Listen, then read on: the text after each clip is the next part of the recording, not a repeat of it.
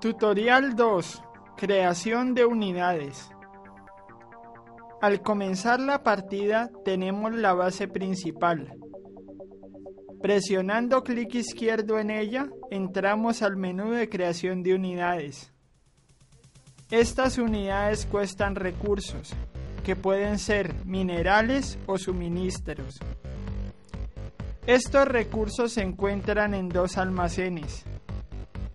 En la base, donde podemos crear un droide con F1 y un camión con F2 o presionando clic en los botones respectivos de la interfase.